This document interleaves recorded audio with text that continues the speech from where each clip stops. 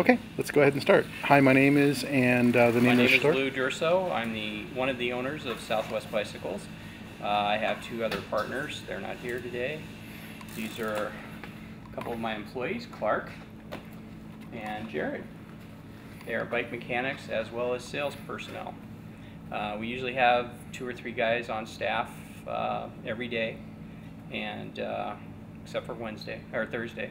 Um, and uh, we're a full service bike shop, and we cater to the uh, Sun City crowd, uh, but we do also do a lot of the Peoria and Glendale area as well. Um, we sell mountain bikes, road bikes, comfort bikes, uh, recumbent bicycles, uh, cruisers. So we, we dabble in just about everything as well as sell just about everything. Uh, this side of town, we do a lot of repairs, a lot of flat tires. It's part of the Arizona thing. Flat tires are a big business out here. Um, and uh, right now it's summertime, and in Arizona, summertime is usually a lot slower because nobody really goes outside. But uh, this gasoline season has brought business up quite a bit and quite a few more repairs for us. Do you want to talk about uh, maybe some of the, the products that you carry?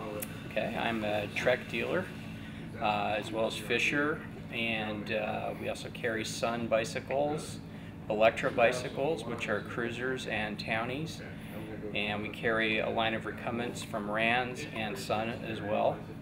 And our mountain bikes are Fisher, and we also carry a boutique brand, Gunnar, which is made by Waterford. Here's one right here um, as well as Haro cruisers and BMX bikes from Haro and Mirraco, which is sold through Trek.